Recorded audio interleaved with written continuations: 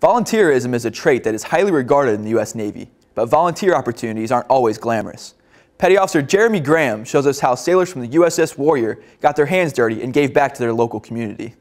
Maintaining positive relationships with host nations is an important part of overseas military service. The crew of USS Warrior hit the streets of Sasebo to give back to the local community by picking up any loose trash. It's important to uh, show face in the Japanese community and let them know that we're, we're here to live with them as well. And we want to take care of the community that we're living in and we want to be a part of it.